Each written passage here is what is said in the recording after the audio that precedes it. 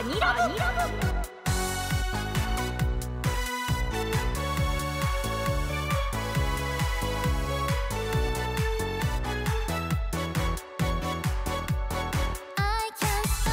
皆さんこんばんはだきゅーマジアニラブ金曜日パーソナリティの九一郎だきゅーさてこの番組はアニメ大好きアニソン大好きアニラジ大好き。そして何よりアニラブを聞いてくれるお兄ちゃんお姉ちゃんのことがマジで大好きというラブリード全開の番組だきゅー今日もまずは僕が登場だきゅーみんなわかるかきゅ今回からね僕の腕が動くようになったきゅイエーイ。かわいいって言ってくれていいきゅよ。イエーイ。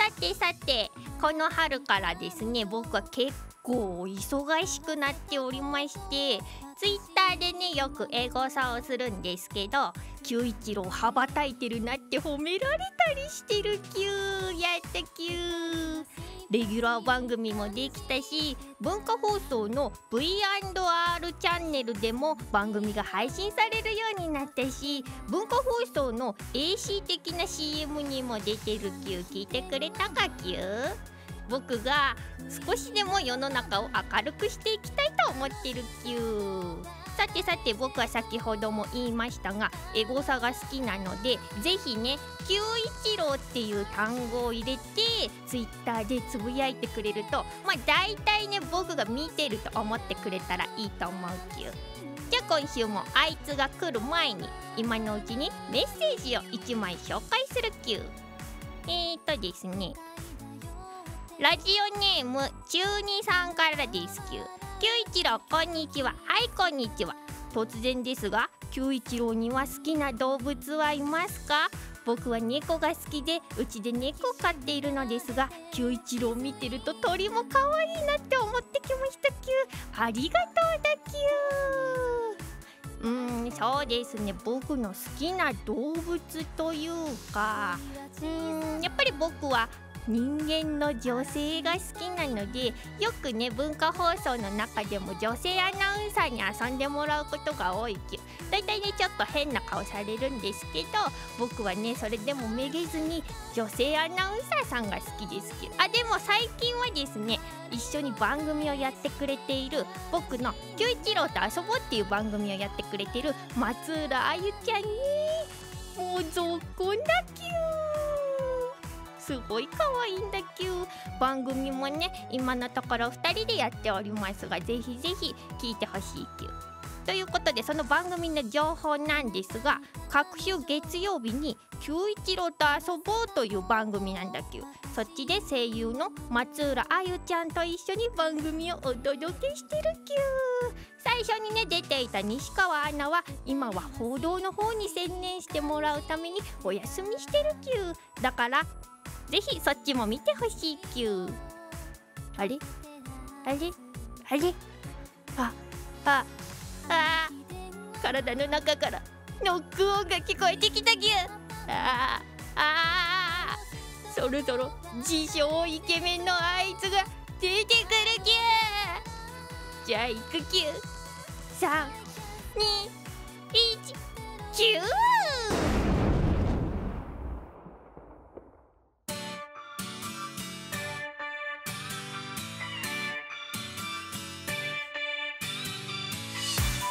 さんこんばんは。九一郎の中から出てきたもう一人の九一郎です。ということでここからは僕九一郎がマジアニラブの金曜日のパーソナリティを担当します。よろしくお願いします。はい。ということで皆さん今後ろに流れてる BGM ちゃんと聞いてください。ついに私九一郎がテーマソングを歌わせていただきました。その名もマイフェアクイーンです。はい、マイフェアクイーンとかねよく言うじゃないですか。でそのクイーンを916なんでキュイーンになってます。はい。ちょっとね色気のあるセクシーな歌になってるんでしっかり聴いていただけたら嬉しいです。ねさっき鳥の九一郎も言ってたんですけど九一郎この春から羽ばたいてます。V&R チャンネルのアーカイブ配信の再生数は鳥の方の九一郎に負けちゃってるんですけどうんまあねそのうちの再生数10回は僕ですからね。まあ、なかなか他の VTuber さんに再生数もちょっとガクンと離されてるんですけど皆さんにもちょっとね男の VTuber 私九一郎も、えー、ぜひぜひチェックしていただけたら嬉しいなと思ってます。はい。でまあいろいろね高評価とかいっぱいチャンネル登録とかしていただけたら嬉しいです。ということで今週も始めていきましょう。九一郎のマジアニラブ。お兄ちゃんお姉ちゃんこれからの30分間僕をバードウォッチングしてくださいね。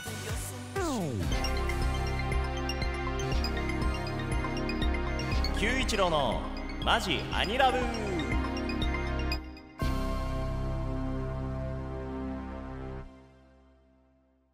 改めまして喋れる鳥ことマジアニラブ金曜日パーソナリティの九一郎です。さてまずは恒例になりました前回の放送エゴサタイム。ということでね先週の、えー、放送を見て皆さんが感想をつぶやいてくれてたんでちょっと掘り下げていきたいと思います。はい。まずこちら。九一郎がまだ鳥の姿オンリーだった時にもファボしてもらったことあるけどこのアイコンにされると妙にドキッとしちゃうやつ。はいありがとうございます。まあ、ファボしただけでね相手をドキドキさせられるなんて僕も罪な男ですね。でもどうだろう。今回ファボしたのは鳥の方の九一郎なのか僕なのかどっちなんだろうな。はい。まあね一緒にツイッターを共有してるんでどっちだったかちょっと忘れちゃったんですけど、まあ、これからも応援してくれたら嬉しいです。はい。続いて九一郎のアニラブ初めて聞いてるあの喋ってる映像がちょっとじわる可愛いということで。てかもう一人の九一郎ってなんだよ。わらイケメンだなということで。ありがとうございますイケメンです。はい。もう一人の九一郎こと九一郎です。ちょっとずつ皆さんにね受け入れていただけるように頑張りたいと思います。豊さんと仲いいのって人間体の九一郎がってことでいいのかなということで。はいありがとうございます。そうです。私人間の九一郎が豊さんと仲良しなんです。ね木曜のアニラブはちゃんとまだチェックできてないんですけどどうなんだろう。僕だけが仲いいって言ってる感じになってるんですかね。ちょっとリスナーの皆さんにね聞いてみたいんですけどうんまあそれだとねちょっと悲しいんですけどね。まああの豊さんには LINE したんですけどまあねあの豊さんもまさか僕が金曜日っていうのを聞いてねびっくりしてくれてましたけど。はい。続いてこちら九一郎の中身のヒントデジモンドンピシャ世代ということでありがとうございます。まあ中身というか僕自身の話なんで別に隠すことではないんですけど、まあ、バリバリのねデジモンドンピシャ世代です。はい。まあなんだろうあと世代あるあるとしてはそうですねニコニコ動画とかのこう初期のね全盛期が僕の青春ですかね。はい、あとはなんだろう初音ミクが出始めたぐらいって言ったらもうなんかいろいろ特定されちゃいそうなんでこの辺にしておきます。はい続いてこちら。九一郎って空気入れるのめんどくさいから VTuber みたいになったのかなということでありがとうございます。これに関してはね正直ねあの空気入れる方が楽です。もうまあいろんなねこうあのいろんなねこうお話があるんでちょっとあんまり言えないんですけど、まあ、空気入れる方が楽かな。ちょっと誇りっぽいですけど。はい皆さんありがとうございます。ということでこれからもエゴさせていきますんで感想よろしくお願いします。では続いてリスナーのお兄ちゃんお姉ちゃんからメッセージが届いてますので紹介していきましょう。九一郎こんばんは。九一郎は今まで地下倉庫で生活をしていた地下ゆるキャラですよね。地上波とはいきませんでしたが地上に出てきてパーソナリティをやってみた感想を教えてくださいということでありがとうございます。地下ゆるキャラなんていう言葉があったんですね。はい。どうだろうなんだろうね。やっぱりまあ地下からね外に出てきて、まあ、一番に感じるのはやっぱ外の空気は美味しいですよね。はい。まあ地下はなかなかちょっと誇りっぽかったんで。はい。でもそうですね。パーソナリティやってみてうんやっぱりちょっと大変ですよね。やっぱ第一線で活躍されてる方々すごいなーなんて思って、まあ、僕もその方々に追いつけるように頑張りたいと思います。続いてラジオネーム花房さんからです、え九一郎こんにちは Q 私は花粉症に悩まされているのですが九一郎は花粉症大丈夫ですか？ということで九一郎もね実は花粉症なんですよ。九一郎ね中にこもってるんで花粉症どうかかるんだって感じなんですけどいやもうねアレルギーがすごくて、まあ、僕もいろいろ鼻うがいとかこう顔にねフルスプレーとか振って棒ね対策しております。はい。続いてラジオネームじゅんさんからです。こんにちは。はい。家にいる時間が増えたので A&G を垂れ流しにしていたら九一郎がソロ番組をやっていて驚きました。僕が見ていた九一郎は随分見た目が変わったように思いましたがイメチェンしたのですね。はい。僕も休み明けにイメチェンしようかと思ってるんですがイケメンにイメチェンするためにはどこをどういじるのがいいでしょうということで。そうですね。まあ、まずは服の印象とかじゃないですかやっぱりねやっぱモテる男は清潔感が大事ですからねうん、まあ、最近はねあのー、ねあのー、安くてもおしゃれな服とかいっぱい売ってあるし、ね、シルエットがね、その人の体に合ってたらあのかっこよく見えると思います。あとはあれですね、あのー、脱毛とかしてみたらどうですか？はい、九一郎も脱毛やってます。ということで皆さんメッセージありがとうございます。引き続き僕九一郎へのメッセージお待ちしております。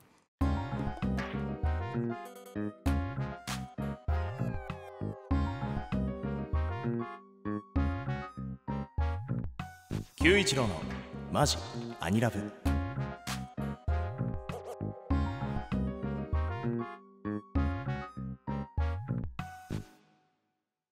金曜日は私九一郎がパーソナリティを担当しているマジアニラブ。続いてはこちらのコーナーをお届けしましょう。教えてあげるよ九一郎。ということで。はい。僕ですね九一郎の体の中に引きこもっていた時間が長かったので皆さんが知っている常識を知らない可能性があります。そこで九一郎にですねリスナーのお兄ちゃんお姉ちゃんから、えー、教えてあげたい世間の常識を送ってきてもらいたいと思います。というコーナーですね。はい。まあ最近仕入れた情報だと任天堂スイッチが品薄ということで九一郎ですねあのー、この間ねあの抽選にネット抽選に応募したんですけどあの倍率が3400倍とかなってるらしくて当たるわけないですよねそんな。ね。宝くじかよとは思いましたけど、まあ、当たればいいななんて結果待ってます。続いて、えーと、アリアの完全新作2020年冬公開決定ということでこちらもなんか胸が高鳴りますよね。あの名作ですから。はい。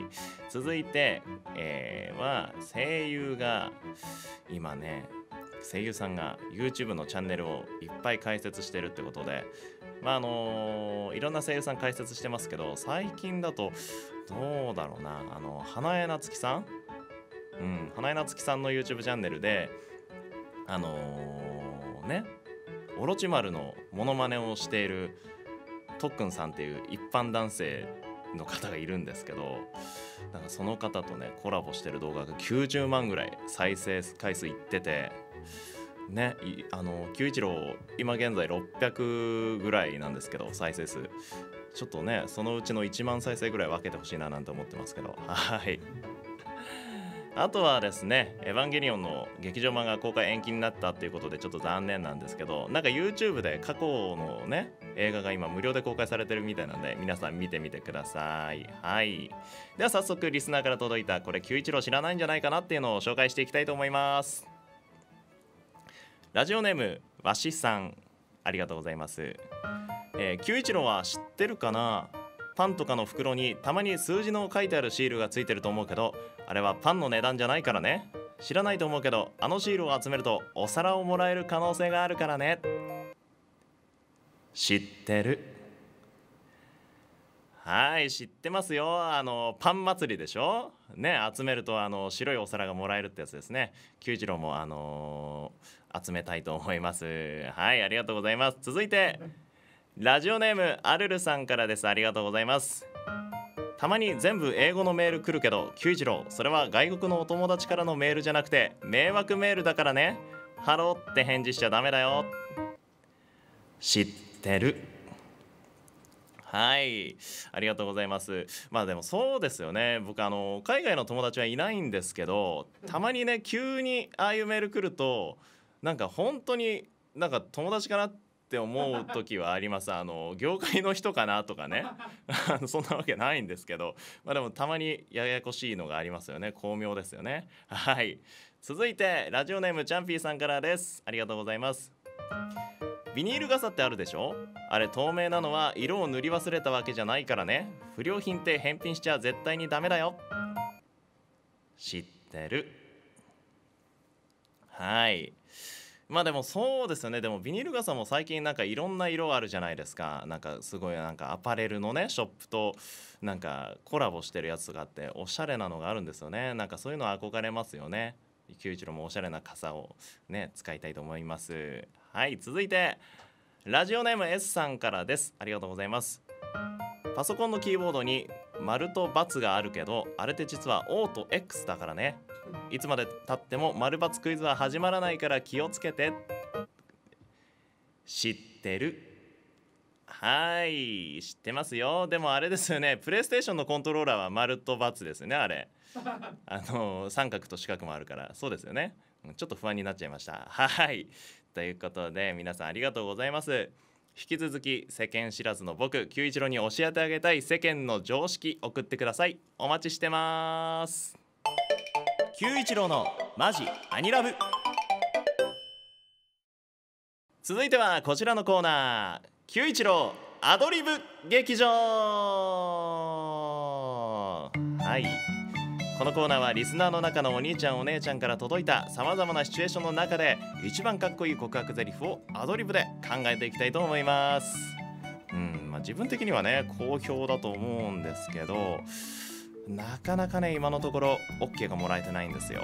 うんということで、まあ、今回の自信はって聞かれたんですけどまあもちろん毎回ね自信満々にやってます。ということで今回もやっていきましょう。ラジオネームぼんぼりさんからいただきましてありがとうございます。家で退屈している子が一瞬で笑顔になる面白告白。わかりました。それでは九一郎アドリブ劇場スタート。最近あんまり外に出られなくて退屈だよね。そうだ。今からさ濃厚接触しようか。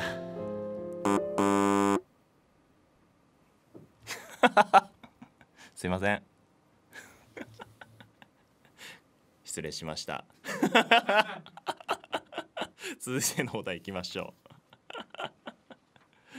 う。ラジオネームジークさんからいただきました。ありがとうございます。はい、えー、元気のない子にラテアートを使った愛の告白です。どうぞ。はいお待たせ。君の好きな九一郎書いたんだ。どう？元気出た？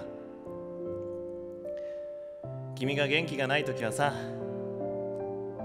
いつでも僕がラテアートで好きなキャラクター書いてあげるから。僕と付き合わない？ちょっとストレートすぎましたかね。こう下心が見え見えというかね。うん。まああのメス鳥はこれぐらいでちょろっとあの OK もらえちゃうんですけどやはり世間とのギャップがあるみたいです。はい。ということで引き続き皆さんから告白するシチュエーションをお待ちしてます。九一郎のマジアニラブ。続いてはこちらのコーナーノーアル九一郎は爪開くこのコーナーではリスナーのお兄ちゃんお姉ちゃんからいただいた僕九一郎にやってほしいことを募集しております。僕にどんな能力があるのかを皆さんに開拓していただきたいと思います。じゃあ今回はこちらの特技を試してみたいと思います。九一郎は声真似が得意。うん。これは得意ですよ。はい。じゃあ早速やってみましょうか。まあうんやってみましょうか。まずは。これいきなりやるの？恥ずかしいですね。やっていきます。うんうんうん。やるしかないっしょ。はあ小野田坂登るっしょ。どどうですか？ちょイメージ的にはこう弱虫ペダルのあの牧島先輩だったんですけど森久保さんだったんですけどね。ちょっとダメだったみたいです。やっぱちょっと世間厳しいですね。はい 続いてこれはもうメンタルがいやいや まあでもバーチャルなんでね頑張りますよ。はい続いてこちら。カウントダウン TV をご覧の皆さんこんばんは。福山雅治です。おお自分で言っちゃったけどね福山雅治ですって。やったー。はい。続いてこちら行ってみたいと思います。いくらちゃん僕と遊ダメだった。あーきつ。今タラちゃんです。タラちゃんです。ダメでした。はいじゃあ最後はまあこれはお箱なんで鳥携帯の九一郎の声真似したいと思います。はい九一郎だきゅどうですか？声真似似てますか？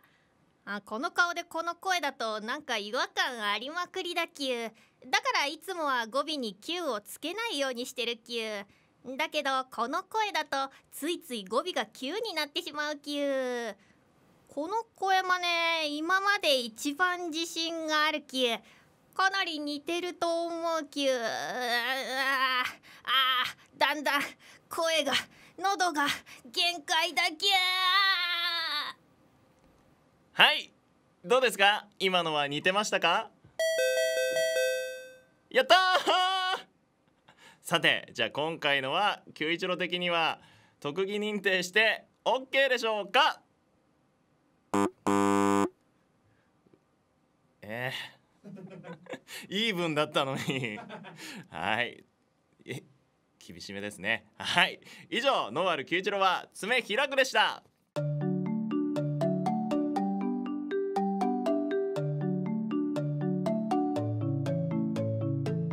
九一郎のマジアニラブ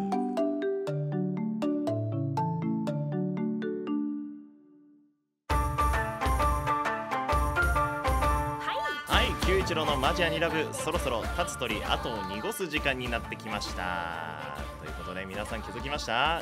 今流れているの九一郎温度です。ということでまあね僕だけ歌うとまたあのー、九一郎鳥の方の歌が聴きたかったとかね。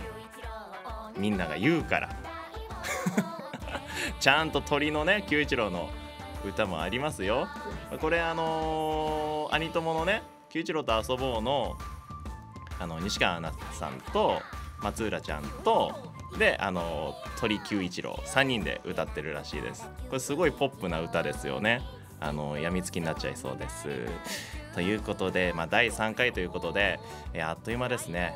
まあでもやっぱりなかなかこう難しいですよね。こうラジオをやるっていうのは、うん。まあ、今週ぐらいからぜひね皆さんがあの僕の魅力に気づき始めたんじゃないかなと思うんでまああの一日も早く認めていただけるように頑張りたいと思います。はい。ということで、えーこの「アニラブ」では僕九一郎へのメッセージもお待ちしております。メールの宛先は ALB 数字の5アットマーク JOQR.net えー ALB 数字の5アットマーク JOQR.net です。はい。この番組次回の本放送は5月の22日金曜日です。リピート放送もあるのでぜひそちらもご覧ください。そして僕が体内に入っている VR910 の番組「えー、910と遊ぼう」はアニ友内で月に2回月に2回配信されております。そちらもご覧ください。では次回も僕をバードウォッチングしてください。この時間のお相手は九一郎でした。バイバイキュー。